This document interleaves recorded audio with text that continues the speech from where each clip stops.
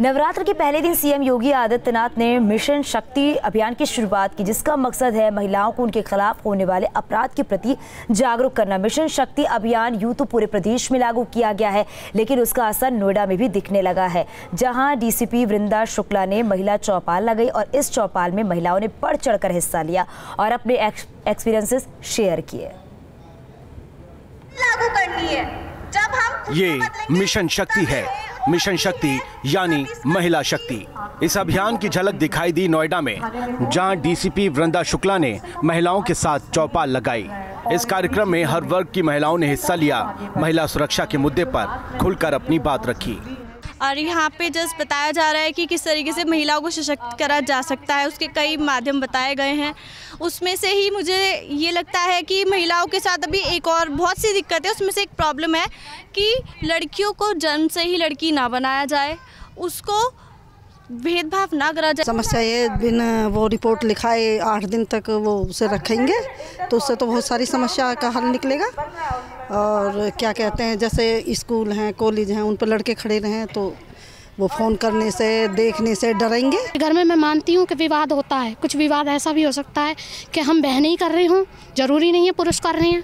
लेकिन जब पुरुष करते हैं तो उनके लिए तो है। लेकिन लेडीज़ अगर कर रही है तो उसके लिए नहीं है। ऐसा भी तो हो सकता है कुछ माताएँ बहनें कुछ हम जैसी बहनों से परेशान हो। अक्टूबर तक चलने वाले मिशन शक्ति कार्यक्रम के तहत पुलिस और जिला प्रशासन गाँव गाँव और कस्बों में जाकर महिलाओं को अपराध के खिलाफ जागरूक करेगा।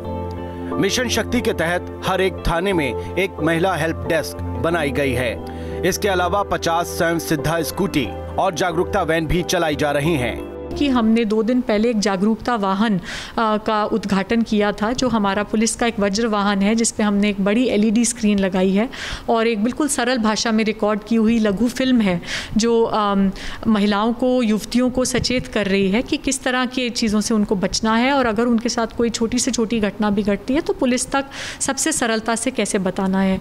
तो हमने इसके जो रुकने के स्थल थे, उनको आइडेंटिफाई करने के लिए कई दिन पूर्व से बहुत एक्सटेंसिव कार्रवाई की। मिशन शक्ति सीएम योगी का ड्रीम प्रोजेक्ट है। मकसद न केवल प्रदेश में महिला अपराधों की रोकथाम करना है बल्कि महिलाओं को इस बारे में जागरूक करना भी है। कि महिलाएँ काफ़ी हद तक जागरूक लगती हैं लेकिन अभी भी सवाल उन तमाम महिलाओं के बारे में है जो जागरूक तो हैं लेकिन आवाज़ नहीं उठा पाती। ऐसी ही महिलाओं को सशक्त बनाने की कोशिश यहाँ से की जा रही है। वीडियो संदीप के साथ मनीष चौरसिया न्यूज़ स्टेट। नोएडा। और अब बात न्यूज़ चैनल्स की टीआरपी में हुई कथित घोटाले की। क्या दर्शकों को पैसे देकर कुछ न्यूज़ चैनल्स ने अपनी टीआरपी बढ़ाई? इसका सच अब सीबीआई पता लगाएगी। टीआरपी फर्जीवाड़े को लेकर उत्तर प्रदेश में एक केस दर्ज हुआ था जिसके बाद योगी सरकार ने उसकी सीबीआई जाँच की सिफारिश की थी। मुंबई की पुलिस ने बार की रेटिंग में फिक्सिंग का जो सनसनीखेज आरोप कुछ न्यूज़ चैनलों पर लगाया था। उसके बाद टीआरपी का टकराव अदालतों के दरवाजे तक पहुँचा था। और अब उत्तर प्रदेश सरकार की सिफारिश पर सीबीआई इस टीआरपी घोटाला मामले की जाँच कर रही है। लखनऊ के हजरतगंज थाने में गोल्डन रैबिट नाम की एक कंपनी के रीजनल डायरेक्टर कमल शर्मा ने टीआरपी घोटाले को लेकर मुकदमा दर्ज कराया है। आरोप लगाया गया है कि टीआरपी देने वाली कंपनी बार्ग और कुछ लोग मिलकर टीआरपी में छेड़खानी कर रहे हैं। जिसकी वजह से निवेश को ग्राहकों और लोगों को काफ़ी नुकसान हो रहा है। इस अर्जी के आधार पर 18 अक्टूबर को लखनऊ के हजरतगंज थाने में एफआईआर दर्ज की गई जिसमें अज्ञात लोगों के खिलाफ धारा चार सौ अड़सठ चार सौ पैंसठ चार सौ तिरसठ चार सौ बीस चार सौ नौ चार सौ छह और एक सौ बीस बी के तहत केस दर्ज हुआ था।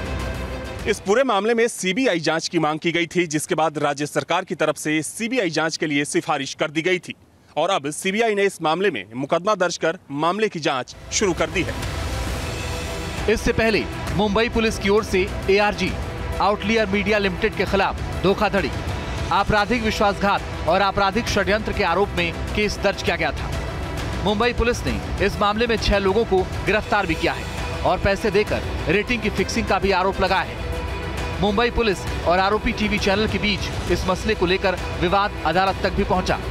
बॉम्बे हाईकोर्ट ने मुंबई पुलिस को 4 नवंबर को सीलबंद जाँच रिपोर्ट पेश करने का आदेश दिया है और 5 नवंबर को सुनवाई की तारीख दी है। बता दें कि मुंबई पुलिस ने रिपब्लिक टीवी समेत तीन चैनलों पर टीआरपी घोटाले का आरोप लगाया था।